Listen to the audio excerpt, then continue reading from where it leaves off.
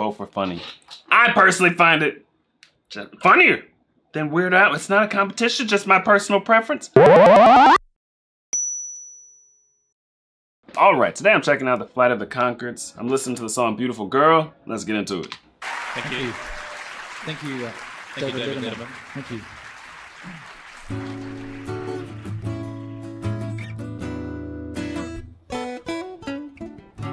Looking around the room, Tell that you are the most beautiful girl in the room.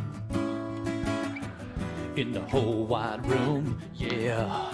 And when you're on the street, depending on the street, I bet you are definitely in the top three. Good looking girls on the street, yeah.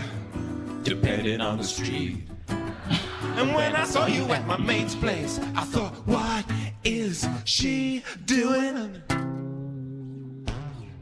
At my mate's place, how did Dave get a hottie like that to a party like his? Good one, Dave. Ooh, you're a legend, Dave. I asked Dave if he's gonna make a move on you. He's not sure. I said, Dave, do you mind if I do? He says he doesn't mind, but I can tell it kinda minds. But I'm gonna do it anyway. I see you standing all alone by the stereo. I dim the lights down to very low. Here we go. You're so beautiful. You could be a waitress. You could be an air hostess in the 60s. You're so beautiful. Well, you could In the 60s? part-time model. And then I seal the deal. I do my move, I turn the robot.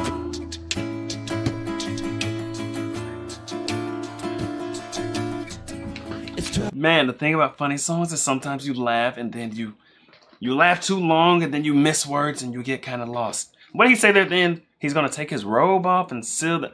I don't know, but as far as I can tell, it's his friend's girl who's super hot. That's such a thing. If your friend has a hot girl, you'll be like, dang, like they were saying, you're a legend, Dave. You're a legend. You're a legend. That's how us guys are. If you, if you have a hot girl, everyone's like, dang, you must be that dude.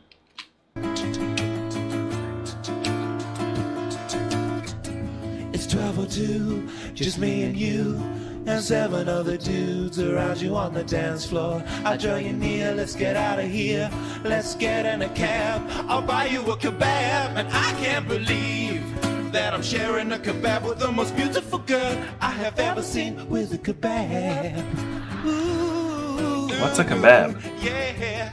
Well, why don't we leave? Let's go to my house so we can feel each other up on the couch. Oh no, I don't mind taking this now.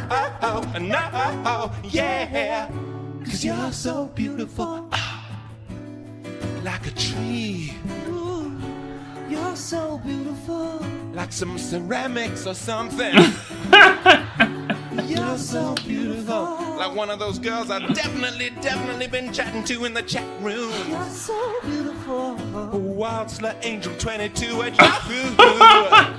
You're so beautiful. You could be a high class prostitute. Seriously. You're so beautiful. Well, you could be a part time model. Well, you'd probably have to keep your normal job. Spending part of your time modeling and part of your time next to me.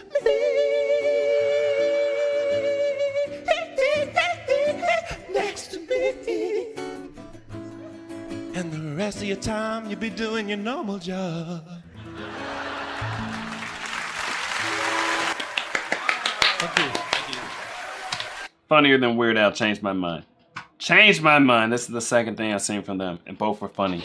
I personally find it funnier than Weird Al. It's not a competition, just my personal preference. I find this kind of humor to be quite good.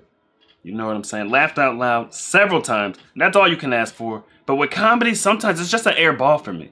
It's just an air ball, and that's why I am scared to do a comedy stream without Lex by my side.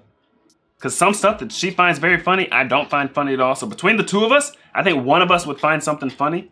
But it's the worst when you have some comedy that's just like not funny and you're just stuck up here. And that's why I have not done. Wait, have I done a comedy stream? I don't think so. I don't think I have by myself. I don't want to. I don't want to. It's too risky. But I like their I like that they do it acoustically. You know what I mean? That adds. And then they have a good vocal style and some of the notes they hit are terrible. Adds to the comedy. But if they just make regular music, I might actually listen. Because I like their vocal styles. I don't know. Mm-hmm. Tell me, man, what do you know? What do you know? Me and my boys on the road. To go? She told me, boy, you go. Like, I don't know. But I don't